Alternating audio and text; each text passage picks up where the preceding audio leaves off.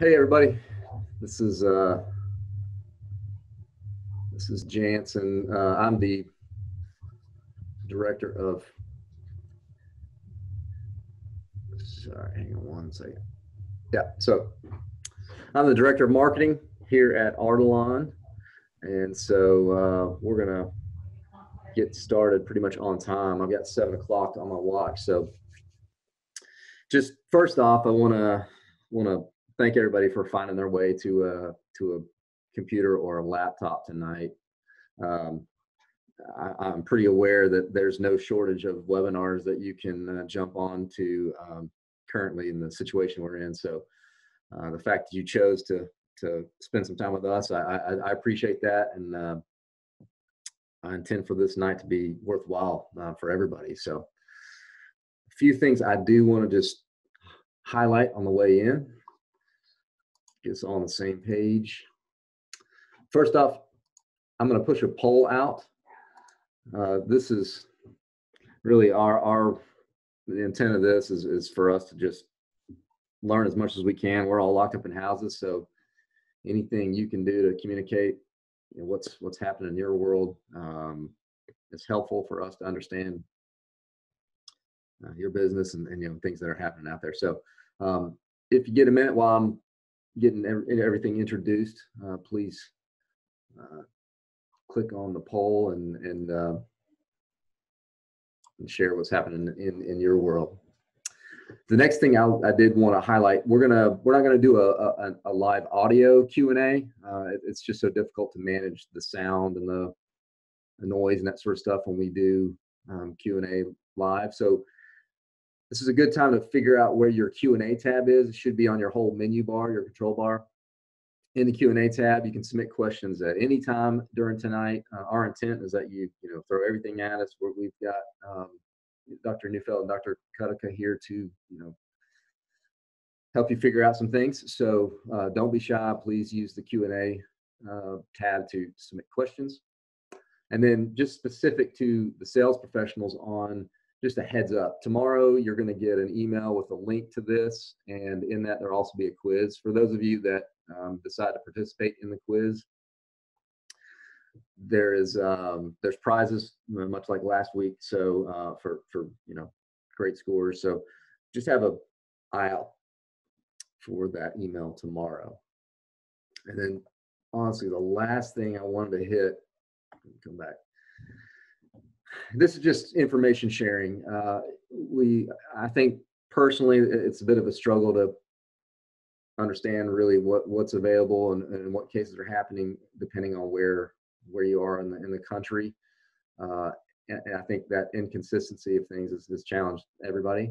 So uh, this is the latest that I could find from the American College of Surgeons. They they've given some guidance um, on various disciplines uh, relevant to us and maybe specifically relevant to Artelon. There were uh, four four things that they highlighted as being um, still places where um, Artelon's people and or technology may still be needed to be helpful. And so just as an awareness, please don't view this as a, as a reason to go make a, a sales call tomorrow.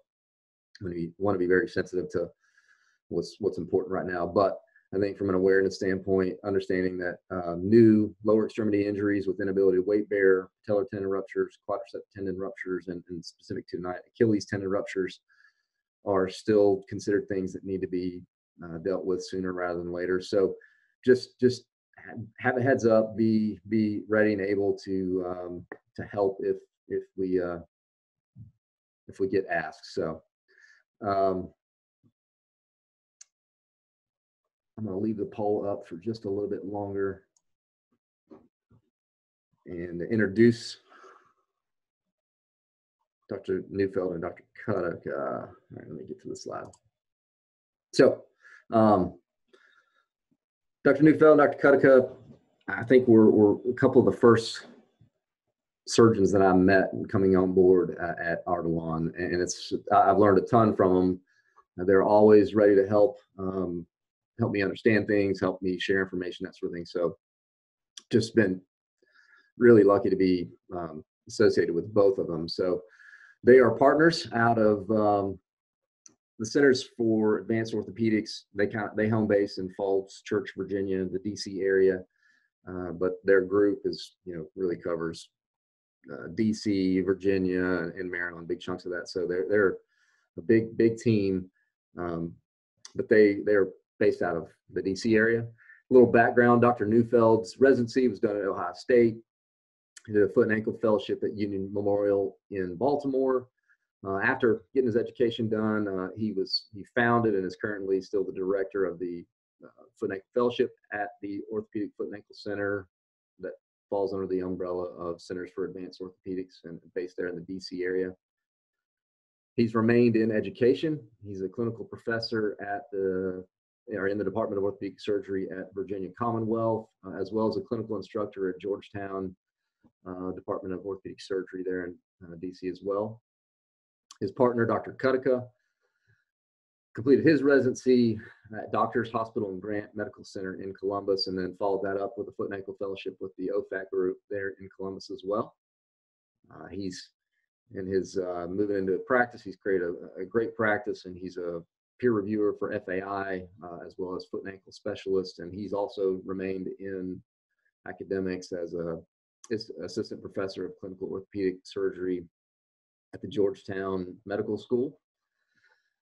Together, uh, they've they've been utilizing Artelon's products for right at three years, uh, and and I think of particular note tonight uh, over that period they've really seen the gamut of Achilles injuries, and that's what I'm excited about tonight uh, as far as uh, hearing their experience with with those injuries and and um, unique ways they they've found to treat those um, in their own experience. So without further ado, uh, I'm going to go ahead and roll into the presentation. Just a technical note, the presentation, uh, we went ahead and, and pre-recorded it yesterday just to avoid any technical challenges that sometimes arise in these. So don't be uh, alarmed if the, the sound coming out of your speakers doesn't necessarily match, you know, Dr. Neufeld or, or Dr. Cuttica's uh, mouth on the screen. We're not trying to create the next bad lip reading video. Um, but we, we went ahead and recorded this ahead of time. So I'm going to go ahead and hit play. They're going to be with us live. Uh, submit your questions, and at the end, uh, we'll, we'll try and roll through everything that's that's on your mind. Uh, so welcome everybody. Uh, today, Dr. Cuttica and myself are going to talk about how to take care of and fix Achilles tendon problems. We're going to talk about the traditional way of fixing them, and we're going to talk about uh, the new way that we are using modern technology to improve our reconstructions and improve our results and ultimately improve patient care. Our group became interested um, when we learned about this new technology from Artelon um, because it seems to fit very, very well into our practice in the foot and ankle. And we've been using it all over the foot and ankle, uh, and particularly around the Achilles tendon region, which is what we're going to focus on today. Let's spend, a, let's spend a few minutes over talking about what Artelon is and why it's been really revolutionary and a game changer for soft tissue reconstructions around the foot and ankle. So Artelon as a company itself has been around for a very, very long time with over 20 years of clinical experience, started in Europe with over 40,000 patients treated worldwide. Uh, lots of publications and peer-reviewed uh, articles uh, makes this very, very unique product coming from a very, very unique uh, company. The product we're going to talk about this morning uh, is their flagship material called Artelon. It's a copolymer implant, and it simulates uh, ligaments, tendons, uh, you know, soft tissues. So it's flexible, it's very, very strong, it can load share, it promotes tissue ingrowth, and it's fray resistant. And unlike suture material and other implants that can cause reactions, we found that it creates a very, very little reaction, if any, and it eventually will break down, uh, not with an enzymatic breakdown type mechanism, which can cause an inflammatory response, more of a, of a glycolytic uh, reaction. The idea is that um, this material, how it's manufactured in different shapes and sizes, you can see on the bottom, anywhere from 0.3 centimeters to 6 by 9 centimeters, can be implanted in the body can be incorporated into a tendon or soft tissue reconstruction for strength and repair and not cause any complications such as reactions. Some of the advantages of FlexBand, as we I just mentioned, it addresses the inherent problem that orthopedic surgeons have when we fix these, these tendons. And the problem is this, if you fix something, you don't want to immobilize it for too long because it leads to atrophy and weakness. And we know that early loading of a tendon, early loading of a bone, early loading of you know, orthopedic repairs is important for healing. However, if you load the repair, if you load the Achilles tendon, if you move the Achilles tendon too soon, you may risk gapping, you may risk tearing, and therefore your surgical repair uh, will fail. So there's always strikes a balance in your mind with how long to immobilize somebody versus when you start early range motion. Unfortunately, this Artelon has really changed the game for us, and it's enabled us to start moving people right away and not worry about the gapping and the tearing that we would have uh, before we used it. It's been shown that Artelon is 92% stronger than suture alone. And the traditional repair of Achilles tendons, as we all know, is using sutures, whether it's a non-absorbable, an absorbable suture. Uh, suture has a finite amount of strength. Adding Artelon to it uh, increases the strength dramatically. Studies have shown that by eight weeks, the strength of the Artelon repair is equivalent to the original uninjured tendon. So the data is very compelling, especially the fact that in this 2018 study showed that it promotes repairs, you can uh, tension the repair well, and that you're going to have a strong repair by eight weeks. So this is just sort of a general slide that you can look through. And the reason, again, why we at the Orthopedic Foot and Ankle Center and orthopedic surgeons all over and foot and ankle specialists like this material is because it does restore stability and natural motion. Uh, so it's not like a, a rigid uh, internal brace type fixation, which doesn't move, which actually allows motion. It resists the degradation. It doesn't break down in a, in a uh, quick amount of time. It's a slow, slow uh, breakdown. 90% of its strength is still there after the first year of healing. There's no inflammatory response. There's no rejection that you see with other types of implants. And finally, this material allows natural tissue regeneration through load sharing. We know again that as an Achilles tendon goes through its load, the tenocytes and soft tissue remodel around it. And by four to five years, this Artelon is integrated and completely replaced by the natural Achilles tendon. So uh, it's a very, very uh, forgiving and desirable uh, material. Let's look at some of the common uses around the Achilles tendon that uh, we've used Artelon for. First, we'll talk about traditional treatments of Achilles tendon ruptures. Obviously, you can do non-operative, but for the purpose of this talk, we're going to talk about uh, operative repair of these problems. Theoretically, the advantage of operating on Achilles tendons that it decreases your rupture rates, there's greater plantar flexion strength, and you have a significantly faster return to sports and activities. And I think even the studies that uh, are coming out these days looking at conservative versus operative treatment of Achilles repairs, it's clear that if uh, the Achilles tendon is fixed, people return to their sports and activities sooner. Now, there's debate in the literature on whether you do minimally invasive versus open repair, and the literature could be confusing. Fortunately, there was a, a meta-analysis in 2018 that compared these two approaches and showed that there was no difference in re-ruptures, whether it's minimally invasive or open repair. There was no difference in sural nerve injury. Uh, that was one of the concerns about minimally invasive, that you may hurt the sural nerve. There was no difference in return to pre-injury level, and the only thing they found significantly was that there were less wound problems with smaller incisions, which you know inherently makes sense. The goal of, of fixing an Achilles tendon, whether it's minimally invasive or maximally invasive or however you want to approach the Achilles, is you want that tendon to heal in its physiological, physiological position. If you tension it too much, it could be too tight. If you don't tension enough, it could be too loose. You really want to restore the, the normal dynamic muscle function as best as we can. We like to delay these repair by a few days to let at least the swelling come down.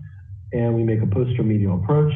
And as you can see on this uh, top slide on the right, this is a typical Krackow type suture using a non-absorbable uh, uh, repair. On the bottom, however, are cases that we frequently run into where if you have a repair in a previously tendinotic or diseased tendon, your repair is going to be tenuous you leave the operating room thinking to yourself, man, this just was not such a good repair. I'm a little concerned. And these are the cases you may think to yourself, well, maybe I won't let them start early range of motion. Maybe I won't start them on early active and passive and weight bearing physical therapy. And these are the cases when uh, the surgeons are thinking, well, I think we need some sort of grafting or augmentation that may be desirable. So up until the, the advent of Artelon, we had some choices. And we're going to talk about some uh, acute repair cases uh, using this novel technique. Dan? Okay, so for our acute Achilles repairs, we have been using the uh, box weave technique uh, with the Artelon FlexBand product. So there's actually some good science behind this uh, technique. This was uh, based off of a cadaveric study uh, by Berlet and colleagues uh, in 2014. Um, in this study, they compared the failure load of Achilles repairs with and without augmentation. So they had, uh, just to briefly go over the study, they've had they had 10 matched pairs. One group was a four-strand Krackow suture only uh, repair group. Uh, the second was the suture, but augmented with a box weave collagen xenograft. Interestingly, what they found was that the mean load to failure was significantly higher, four times higher in the augmented group. But I think more importantly, uh, with cyclic loading, the gapping across the repair site was significantly smaller in the augmented group. So, so you can conclude from uh, their data that the augmented group Achilles repairs uh, provides not only stronger uh, repair, but decreases any sort of gap resistance that uh, can potentially develop. So I think this, you know, in, in real life is important because as we go to try to rehab patients uh, faster and faster and uh, try to get them back to return to activities and sports, we want to be aggressive with our rehab without compromising the repair. So that's where this uh, comes into play. So just briefly going over the technique, you're going to do your typical uh, standard Achilles uh, repair, do your running, locking uh, suture of choice, your circumferential tenon suture to reinforce it. And then when we do the box weave, uh, we make two uh, trans Achilles tunnels, uh, one proximal to the repair, second tunnel that's going to be distal to the repair. Initially, you're going to uh, pass your flex band uh, through the proximal tunnel, as you can see in this picture here on the right. You're going to bring one strand distally and pass that through the distal tunnel. And then you take that distal band and bring it proximally. Uh, and that's what creates your box. Now, the nice thing about the Artelon is that you can actually, as you bring that uh, distal and proximal, you can it's flexible, so you can pull on it and tension it, and it's still very very strong. So you could tension, you know, as you seem fit, and you just suture it back um, onto the tendon proximally. Um, so you can see it does not add a lot of bulk because the uh, graft is on the medial and lateral borders of the tendon, so not dorsally, uh, uh, which is a place you don't want to add a lot of a lot of substance. And then I think also it does not pull through the tendon as you tension it because it tends to grab the bulk of it just proximal to the suture. So it tends to be a fairly uh, simple, fairly reliable uh, way to reinforce the repair. Next slide. Here's a case of a 42 year old male who suffered an acute rupture uh, playing basketball. He had your classic uh, findings of, you know, felt he got kicked in the back of the leg uh, while uh, playing. Um, on presentation, he had your, again, classic findings of a, an acute rupture, a palpable defect at the watershed region. He had no Thompson sign present and with no planar, resting plantar flexion. So treatment wise, we elected to go proceed with uh, surgical treatment. You can, uh, he did have a fair amount of tendinosis present, so uh, that uh, did have to be excised and it did leave a two to three centimeter gap. Uh, that came together very, very nicely. And this was augmented, as you can see here, with that uh, box weave uh, uh, technique. And it provided a really, really good, strong, uh, predictable repair. Okay, let's let's switch gears um, to chronic Achilles ruptures. as you as you saw, the Artelon material is excellent for augmentation and reconstruction of acute Achilles tendons when uh, it is needed. Uh, chronic uh, Achilles ruptures is a more challenging problem for orthopedic surgeons. And it really comes down to how large the gap is. Now, if the gap is short and small, which very rarely do we encounter, that would be nice, wouldn't it? Then you could maybe do an end-to-end repair. Uh, number one, that is unlikely to occur because by the time they usually come to um, your doctor's office to get it fixed, it's been there for quite a while. And number two, frequently these chronic ruptures occur in, in situations of tendinosis, or by the time they are uh, operated on, most of the tendon has been diseased and is really unhealthy. And an end-to-end repair is very unsatisfying and uh, does not really give you a nice, strong reconstruction that makes you comfortable to allow early rehab. Other options, if end-to-end not possible, is to reinforce your repair. You can do a turn down flap. I'll show you a picture of that in a second. A VY advancement flap, or obviously tendon transfers, both uh, autograft and, uh, and allograft. Uh, really, the uh, workhorse in managing these defects is some sort of FHL transfer, as you can see on this bottom, where it's taken through the same incision and inserted into uh, the calcaneus. Uh, notice it's a very large incision, very large exposure. Or adding a uh, VY lengthening, such as the picture on the left, with nice slow advancement of your uh, Achilles tendon, or some sort of turn down procedure to manage these defects. But these are these are challenging uh, procedures and uh, difficult to get good fixation and difficult to feel comfortable at the end of these repair uh, without some sort of augmentation. And there's other things, allografts and different types of grafts. And in 2018, in uh, the Journal of American Orthopedic Surgeons, uh, reviewed the different types of treatments for these chronic ruptures and, and essentially concluded that considering the relative paucity of these cases, the relative few number of really good studies, there's no evidence-based data to guide any specific treatment. So really the cat's out of the bag and, and it really is surgeon dependent. And in our, in our hands, our solution has been to go to this augmentation using Artelon, which we're going to talk about in a second, and we've been very happy with those uh, repairs. So here's uh, the case, uh, Dan. So again, I think you, like Steve said, you take these on a case by case basis. Here's one case.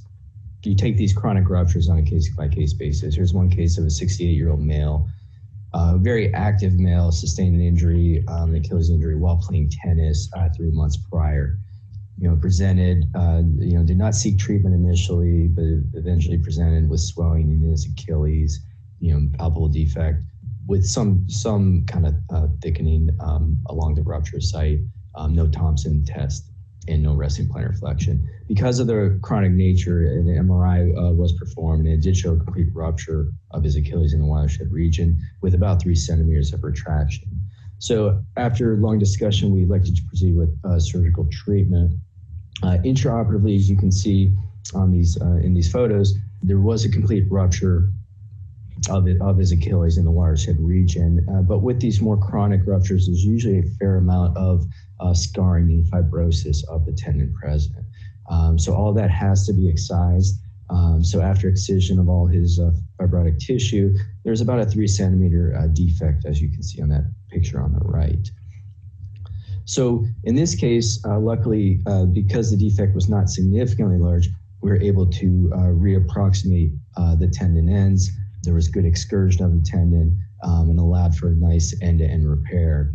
Now, because of the more chronic nature of it, because of some degree of the, uh, uh, fibrosis that was present, I think it's important to make sure you have a good, strong repair. You don't want any of that creep or gapping that can occur. So this was augmented uh, with the flex band box weave technique. Now, you can kind of see in uh, image two where we, again, passing that um, flex band proximal to your repair, um, bringing it distally, and then passing it through your uh, distal tunnel um, in images three and four. And that's what gave us, you know, kind of a nice, strong repair. Um, and it, because we're fairly confident with it, you don't have to slow him down in terms of his rehab um, in this case.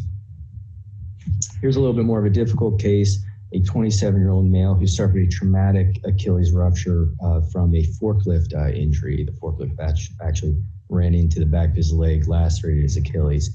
So he did undergo primary repair. Uh, unfortunately, he developed a uh, deep infection uh, postoperatively. uh, which required multiple debridements. And obviously, unfortunately, you have to excise the infected portion of the tendon um, to eradicate the infection. He also underwent six weeks of IV antibiotics. Now, we took him back for delayed reconstruction. Obviously, no evidence of re- residual infection, but there's a very, very large defect, a seven centimeter defect. Obviously, there's no way you're going to be able to uh, reapproximate that or bring those tendon ends together. So, this was a case where uh, we did do an FHL transfer uh, to reconstruct his Achilles, but um, he did have uh, decent excursion after releasing any adhesions. He did have decent excursion of his uh, proximal uh, tendon. So uh, felt that the Boxweave method to reinforce uh, the reconstruction would, would allow for a little bit of a better outcome. And um, um, you can kind of see here, we uh, use the flex band to uh, really almost bridge the gap, just augment uh, the repair, uh, which uh, came together fairly, fairly nicely. So difficult case, but a nice option to have in your armatorium. Let's let's move on to another chronic problem that we run into in the foot and ankle world.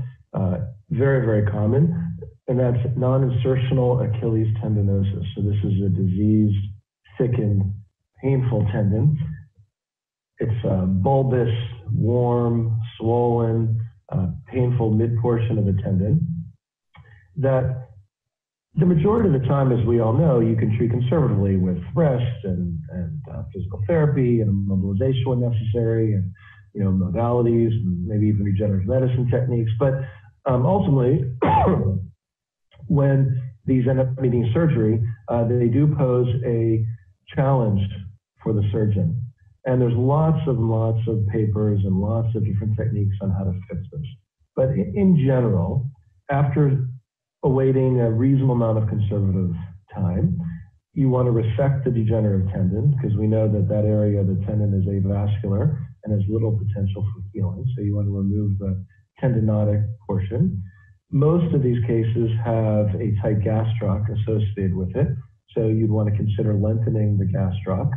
And then you're left with the dilemma of how to repair the tendon what's left. Now, if you resect too much of the tendon, uh, because you have to if it's disease, um, then um, what do you do? Do you augment it? Do you do a tendon transfer? Um, really, it's, it's uh, up to the surgeon, and it's, it's really an intraoperative decision sometimes. Um, if you plan ahead and you uh, look at the MRI, you can sometimes predict that your repair is going to be tenuous.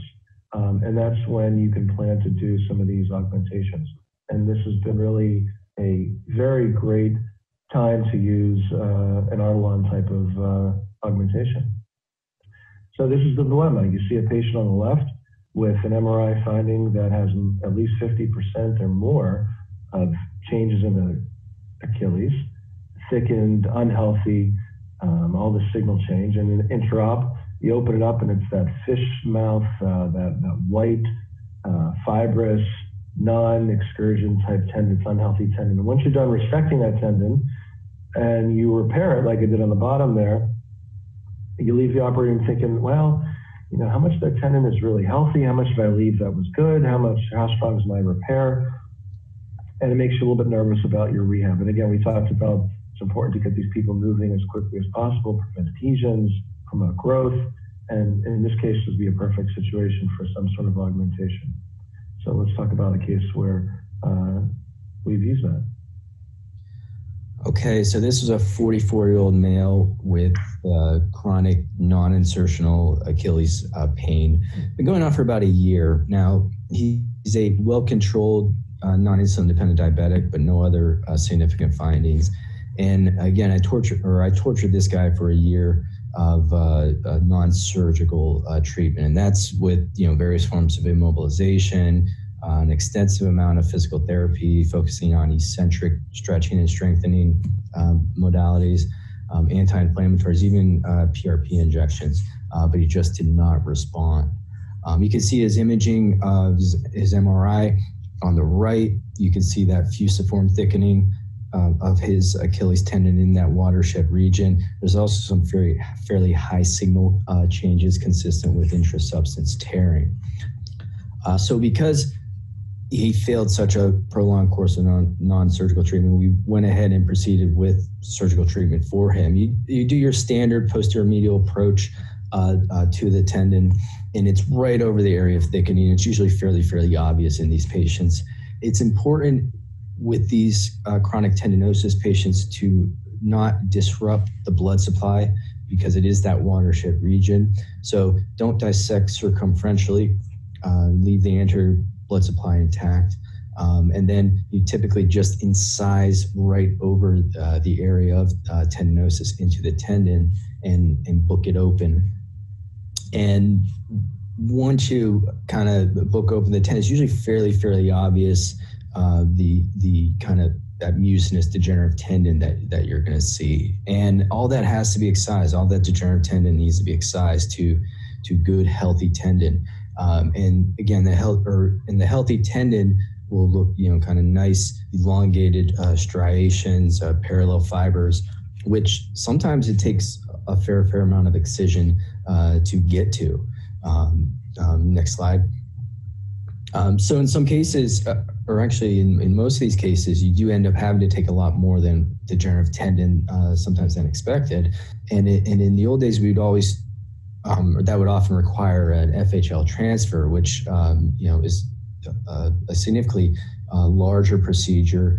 and again, not a benign procedure too. There, there are certainly complications that can develop uh, from that. So it tends to um, so we started using the Artelon FlexBand uh, more as an inlay for these cases of uh, non-insertional tendinosis, and you just lay the tendon within, or excuse me, lay the uh, you just lay the FlexBand uh, within the tendon and incorporate that into uh, your repair. So that's going to uh, really augment your repair, prevents the need for any FHL transfer, makes it a, or makes it a much less invasive surgery. Uh, and then I'm, you know, we're still very, very confident in, in um, the repair because of the mechanical properties of your Artelon. The tissue is also going to grow into it. Um, and then we'll still weight bear these patients fairly, fairly early and proceed with our functional rehab because I don't think it really slows these patients down. All right, let's uh, let's move on to uh, another common problem that we see around the Achilles tendon, uh, and that would be insertional Achilles tendinosis. People describe this as a uh, pump bump or a Haglund's deformity in some cases, but it describes a situation where the insertion of Achilles tendon is diseased and it's chronically torn and it's an unhealthy tendon. The body lays down calcium, develops these calcium deposits, usually intra-tendinous, intra-substance. Sometimes you get large bony outgrowth. And on the left-hand side, you see that this uh, prominent bone can interfere with shoe wear Uh, and pain. Typically, it's associated with a tight gastroc, so that's something you need to think about when we do the surgeries and you lengthen them as well. In general, the traditional approach to these would be to debride the diseased part of the tendon. Majority of the time, you have a bursitis in the retrocalcaneal bursa region, which is inflamed and irritated. You'll resect that as well. If there's a prominent calcification, you resect that. If there's a prominent Haglund's process, resect that. And typically that tendon has to be peeled off the back of the Achilles tendon to do the work and to remove the diseased portion. And you have to reattach it um, at that point with anchors or with screw drill holes or the surgeon's choice. Now, for severe cases, when you're peeling off that Achilles tendon and most of the tendon is diseased and unhealthy, the workhorse and the traditional way to fix this is using an FHL transfer. And for you know my last 20 years of practice, that's been my procedure uh, to go to if I if I have to uh, resect significant amount of the tendon. However, the FHL transfer is not a benign procedure, as uh, as Dan mentioned. Uh, in my practice alone, I've seen uh, problems with nerves, I've seen heel pain. You know, when you take that Achilles, when you take that FHL and you run it through a tunnel with a biotenodesis screw or some sort of anchor in the calcaneus, you can get calcaneal stress fractures and you can get heel pain for quite a long time. You have weakness of the hallux, and that's been shown in various studies. And it's not, and it's a big procedure. You're making a, a what could be a small procedure into a much larger procedure. Though there are studies that show, you know, good satisfaction, functional recovery. Um, more recently, there have been some studies that show that for older patients over the age of 50, which in my book is not old because that's where I fit, uh, they don't do well an FHL transfer. So, you know, the answer is out. And, and um, in the orthopedic literature 2017, the recommendation was really a, a grade one recommendation to do an FHL transfer, which has really had showed that there's very low level of evidence. So that may not be the answer. And, and really, maybe the answer is what we found uh, is to use Artelon augmentation. And let's talk about uh, that in some cases. All right. So, so here's a case of a 42 uh, female who's had this chronic insertional Achilles tendon uh, pain and a fairly prominent Haglund's bump uh, for quite some time. You know, after failure of prolonged course of uh, non-surgical treatment, um, we elected to kind of move forward with uh, surgical treatment. You can see on her radiographs, she has a fairly prominent Haglund's with also some um, insertional spurring. And then on her MRI on the bottom right, not only does she have a moderate amount of uh, tendinosis present. You can see that thickening at the insertion, some uh, intra-substance signal changes, but also a fair amount of edema her uh, calcaneus with uh, retrocalcaneal bursitis. Next slide. So when we treat these uh, patients, uh, we find that the central Achilles splitting approach is uh, really kind of it gets to uh, the meat of the problem. It, um, and you kind of do your midline incision and then um, then dissect right down to the Achilles and straight down uh, to bone, peel the Achilles off both medially and laterally. And I think that's uh, where you'll be able to address the degenerative tendon best. Um, it exposes it uh, very, very nicely. Now, all the degenerative tendon is excised. Um, we perform the calcaneal exostectomy um, as well because you're going to decompress that posterior aspect. And then um, once you, um, uh, after we do our decompression, you repair your uh, midline split. Now we'll typically place the Artelon FlexBand within that midline split and incorporate that into the repair. And again, it does add a lot of substance and, um, and strength uh, to the repair, especially in those cases where you have to debride a lot of tendon. Um, so I think it is a nice way to augment uh, the repair, make you feel uh, very, very comfortable uh, in, in your repair, and you don't have just this little thin shell of uh, healthy tendon. I think this also will uh, prevent uh, the need for a much, much bigger uh, procedure like an FHL transfer um, and as well. Um, and then we repair back down the Achilles to its insertion with the um, Artelon graft as well, utilizing your suture anchor of choice. And we'll typically do a double row type of uh, uh, repair. So postoperatively for all these patients, uh, whether it be an acute repair, something chronic, or even non-insertional insertional tendinosis, we're uh, typically seeing these patients at one to two weeks postoperatively. And as long as their swelling and incision look good and healthy, we'll place them into an Achilles boot with about a 20 uh, to 30 degree heel wedge. And then we'll uh, begin gradual weight bearing at, at that time we feel fairly comfortable uh, with the uh, strength of the uh, repairs and in, um, in and with the augmentation, uh, preventing any sort of gapping or any sort of uh, creep at the, the, repair site. At six weeks post-op, these patients um, are, are still in their boot. We gradually remove their heel wedges, uh, but start usually formal physical therapy at that time. Um, and then um, gradually transition them out of out of their boot into normal shoe, sometimes a brace, um, at around nine or 10 weeks post-operatively. Uh, so I just, I just wanted to end um, saying that uh, the Artelon has really been a game changer for us in terms of soft tissue reconstruction, specifically around the Achilles tendon. And what's, what's uh, used to be challenging cases in the chronic situations are now um, more predictable. And, and our post-op protocol has evolved as we've become more comfortable with the strength of the repair. And we can now treat a chronic reconstruction augmented with Artelon as if it was an acute because the, the primary initial strength is excellent. It maintains its strength and maintains the continuity, and we can begin an aggressive early rehabilitation. So it's really been a, a, very great tool for Achilles tendon reconstructions uh, in our practice. So Dan, you can conclude. Yeah, so in conclusion, we feel that um, the Artelon provides a strong, a reliable, and kinematically permissive augmentation to Achilles tendon reconstruction in acute and chronic uh, reconstructions. Um, it's capable of enhanced resistance to reconstruction laxity, and again, prevents that creep, uh, prevents any gapping at our repair sites. And then its technology is safe, it's effective, it's a versatile product to have in your armatorium, even in a lot of these difficult clinical situations. And like uh, Steve said, it's been really um, a, a game changer in our practice.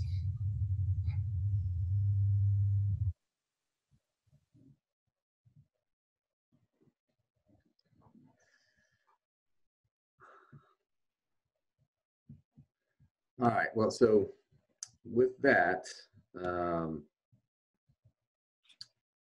it's going to kind of end the presentation piece. I know there were some AV struggles. I, I, I just, man, every time I do these, I just can't help but get snake bit. But um, we got some questions coming in, and um, we'll, we'll start addressing some of those. If you have other questions as you're um, that come to mind, please submit them, and uh, and we'll go go from there. Uh, so first question: When uh, you you your torn uh, tendon is sutured back together and wrapped or boxed by Artelon, is the suture drawing the ends together, uh, not pulled as tight? Um, I could take that one. So I don't think so. So no, I uh, typically do my uh, standard Achilles repair. I tie the suture uh, fairly tight. Um, I think it's very very difficult to over tighten an Achilles tendon. I'd rather them too tight than than loose. Um, when I add the Artelon to it, uh, I'm not pulling that. You know, when I tension it, I don't tension it as tight as uh, the Artelon can go. Uh, usually you, you, you pull it about 20, 30% uh, of, of, its tension, um, which should give it still a fair amount of uh, strength. So no, I don't, I uh, still tighten, um, you know, and perform my Achilles repairs as is. Um, and I just add the uh, FlexBand to it. Yeah, I, I agree. I, th- I, think you have to remember that the Artelon is used as an augmentation, uh, not as the primary repair in this particular case. So it's a load sharing device. So your primary repair is number one, and your Artelon uh, adds a significant improvement to it, but it's not your primary repair. Uh, question two, what percentage of diseased tendon would you recommend using Artelon for the mid substance? Um, I don't know if there's any hard and fast rule. I think a good number is 50%. That's a reasonable number. I think a lot of it comes down to clinical judgment. Some uh, people have very small, wimpy Achilles tendons. And in those tendons, I'll lean more towards Artelon. We all, nice about Artelon, it has a great shelf life. So the rep or the hospital always has it there for me. And if I'm, if I'm leaning one way or another, I would rather lean to augmentation because that will improve my results and improve my rehab. So I would say a nice, big, healthy, beefy tendon, if 50% of it is gone, uh, I'll use it. Um, but that's that, that, that's really a, a, soft guide. It's really more of a feel, how big the person is, how big the tendon is, how fast you want to rehab them, and I would use it more times than not. I can't remember the last time I did an FHL transfer for a uh, mid-substance Achilles tendon tear. I mean, that, and that was my primary procedure for years. Uh, now, if I'm at, at uh, any decision tree making, I'll just add the Artelon and, and not do the FHL transfer. I would agree with that completely. All right. Any other questions? Um, I know you, would mentioned um, changes to your uh, post-op protocols and uh, some of the the things that you, you you're able to get more aggressive. Um, for those that are you know the naysayers out there, how much of that is is is 100% Artelon, or could it just be accomplished with any kind of material, or is it uh, you know um, it, you guys certainly seem to improve in that area. It, it, are you augmenting more now, or is it that you got a better material, or is it all the above? So I think um, Um, I think if you go back to that uh, biomechanical study we talked about with the Achilles repairs, um, you know, it showed that your non-augmented uh, groups tended uh, to, uh, you know, they, they gapped more. So, so I think the thought behind a lot of this is that you know a lot of these repairs are gonna there's gonna be some creep or there's gonna be some gapping uh, and we don't know really who that's going to necessarily occur in. Uh, so we, we, we know we want to be aggressive with rehab, but we don't want to compromise our repair. I think um, so. I think that you know your Artelon is something that uh, can you know just make you more confident in uh, rehabbing these, but but lessen the likelihood of gapping, compromising your repair. I think the mechanical properties of it are what make it unique. Um, you know it's strong it, it is that creep resistant uh, but it's also inert compared to you know some of these other grafts um, and it has you know a lot of your kind of ingrowth uh, properties and uh, as well. So i think that's what makes it attractive in these cases. I'll add one more thing. I think one thing that changes our post-op protocol i know jesse that's how you started this question um, comes down to a little bit of experience. as we're doing this for long and long, we feel more and more comfortable uh, with our repairs. We feel more and more comfortable with our patients and our selection. And number two, we just ask questions and we talk to our colleagues around the country. So, you know, formats like this where uh, two guys who've done this a lot uh, stand up and tell us their experience and, and, and they're honest authors, well, that will change uh, potentially what we're going to do. So I think that's how things evolve through webinars like this, through articles like this, through peer public you know, publications. We're going to have papers that are going to be coming out over the next few years uh, using this material and using accelerated rehab. And I think that's the trend in orthopedics in general. So I, I would say the, the, material itself and the experience of others and, and ours has uh, led to evolving post-op protocol changes. Very good. Uh, a couple other questions. Um, this is a good one. Um, Angela asks, have you changed your technique since the first time you used this? And maybe to broaden that from how has this evolved both from across many indications, but even the ways that you use it. I, you know, I recall the first time I saw you guys do this uh, intra-substance, you know, for for um, insertional, um, and, and it's super novel kind of thing. And, and that seems to be have been a progression. Can you kind of comment on how you've gotten maybe more creative or, or, along the way? Uh, I can take that.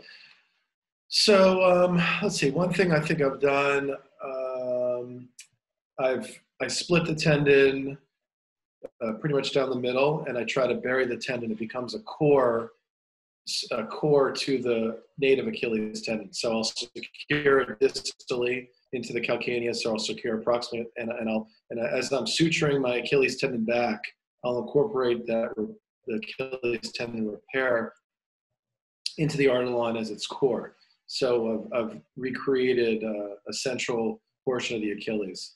Um, I think that's changed my technique a little bit as well. Um, yeah, I think I think it's just uh, you know more indications. Uh, I think our indications have kind of broadened a little bit, and um, and I think a lot of that is because we've had fairly good uh, clinical results. Um, you know, initially for my uh, acute repairs, um, I, I, would just typically, you know, kind of you know suture on one side and suture on another side. Um, you know, with with your box technique, I think that's kind of evolved a little bit, where that you know actually will incorporate into the tendon a little bit more because we you know kind of do your trans Achilles tunnels. Um, um, but I think I think just our indications have ex- expanded a little bit, or um, for the, your different types of Achilles tendon pathology. Yeah. So got got a few more coming in. Uh, would you ever consider Artelon as a standalone or a bridge? Um, usually there's some biology around that you could incorporate. I mean, I've done extensor tendon repairs, anterior tibial tendon repairs. Even in the chronic cases, there's always a sheath or some native tissue around it. Um, I'd be a little hesitant to use it alone by itself. I just I like that how the biology will grow into the Artelon. But if you need to, you need to. I just we just really haven't you know found that to be the issue.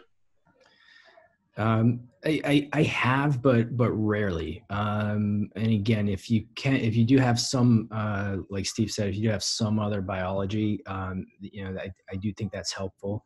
Um, you know, I think we saw that that Achilles tendon uh, case that got infected. Um, you know, we I used that to uh, bridge a fairly fairly large gap, but that was in addition to your to your FHL transfer. Um, so so um, have I done it? Yes. Uh, often, uh, uh, no, no. Next question. Um, do you ever consider coblation of the tendon as well when implementing Artelon on your resection of your chronic uh, tendinosis cases? I mean, what do you mean by coblation? Lenny, you may have to type in. I'll go to your second question. Um, his second question, and maybe you can give clarity. Uh, second question was, ha has there been any studies comparing the strength uh, with Artelon, whether it's in the uh, patch, you know, burrito technique versus, um, let's see, pig and blanket type allografts around. Uh, so, yeah. Yeah, now I see what they're saying. So, so you're referring to the technique that we do where we, we lie the Artelon as kind of the core of the Achilles tendon and um, pigs in a blanket type, as opposed to wrapping it around the outside. Um, you know, we have to think about the blood supply of the Achilles tendon. The blood supply comes from anteriorly, it comes from the outside in. So theoretically, you want to have biology on the outside so the blood supply can get to it. Um, so I, I, have not done that technique where I wrap it around the outside. I'd be, as Dan talked about in his, his part of the talk, you don't really want to uh, dissect out anterior to the Achilles tendon because that's where the good blood supply is. And, and in order to wrap it around significantly well, you're going to need to wrap it around and dissect more. So I think tendon splitting, putting the tendon as the core of the Achilles is, is a uh, is a better technique, and studies will follow. Stay tuned. Just from a handling perspective, I do know as well when, when you when you're wrapping like burrito style, you also lose the ability to alter tension. You know, you just really all you can do is wrap it, tie it down. You can't, you know, pull up on it or, or adjust anything, which is kind of a nice piece of, uh, you know, when you have shoestring type construct, you really have more control to pull on things. Correct. Um, next question. There was a case presented that had previous PRP injections. I think that was you, Dr. Cuttica. Um, do you do you guys ever incorporate uh, bone marrow aspirate or PRP with this material? Uh, and if so, anecdotally, any comments on faster integration or, or better results? You know, I, I, I generally do not. Um, you know, I, and um, for no particular reason. I mean, it would make some sense by you know biologically if you add more biology to it. You know, with your BMAC or your PRP, um, and you, you you certainly could because I think that would be absorbed. Um, but I don't have any specific uh, real uh, experience with that. I, have um, I've used it multiple times with BMAC, uh, but I haven't studied whether it incorporates faster or slower. Uh, that's another study that will come forward as well one day. Good deal. Any anybody else? That's uh, I think we're we're caught up with that one, and we're a minute before eight. So I'll uh, Looks like there's one on the bottom, Jensen, about uh, the repair of the paratenon and do the augmentation procedures become difficult to close the paratenon. Um, so again, if, if you're using the tendon as a core in the inside of the Achilles, then no, it makes no difference at all because you've you've resected the diseased avascular portion and you're repairing and you're replacing it with this very strong Artelon core. So it doesn't make it any bulkier.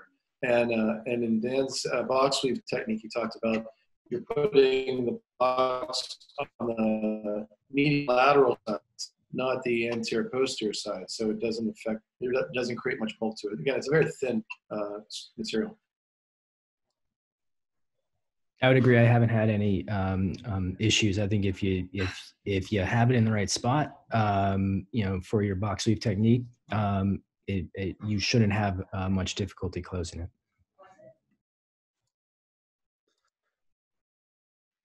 Do you use the same size graft whether you box weave or use as core? Uh, in general, yes. you will usually use your uh, 0.5 millimeter uh, uh, graft. I think uh, you can do a 0.7. I've done it, but it, it, it does add a little bit more um, to it. So I think the 0.5 uh, centimeter size um, is is fairly fairly adequate for your box weave. Um, and then with something you know you know, with more of the chronic tendinosis, it, I think I think it depends on how much tendon uh, uh, you take, um, um, or, or how much you have to excise. So um, a 0.5 or 0.7 would be adequate. Um, you can certainly also just double up, you know, um, you know, because the Artelon uh, is I think about seven centimeters or so, I think in size, if I um, if I have my measurements correctly. So you can fold it in half if you feel like you need more, or if you need something thicker. Um, so so that's an option as well. Yeah, that- that's a good. That's a good commentary.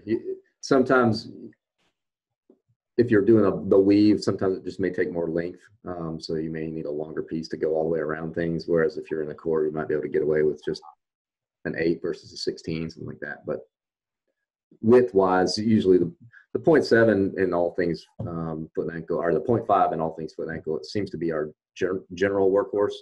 And you have these exceptions where the point 0.3 or the point 0.7 makes sense, but day in day out, that point 0.5 uh, is is pretty uh, utilitarian. All right, um, great questions, great um, engagement. Um, thank you guys for for making time tonight. I'm gonna go ahead and, and, and call it a night, but look for the emails tomorrow. Um, our, our visiting physicians. Uh, once again, I know you had a lot of options tonight. Thank you for, for spending some time with us. So uh, if you have questions after this, uh, you'll, you'll, you- you've got emails from Artelon. If you reply to those, they come to me. So if you've got any other further questions or, or want to follow up with, with either one of these gentlemen, um, don't hesitate to reach out. We, we can facilitate that. So thanks again, guys. Have a great night. Thanks, Dr. Neufeld. Yeah. Thanks, Dr. Thanks. You're welcome. Thanks. Have a good one. Be safe. Great, thanks everyone.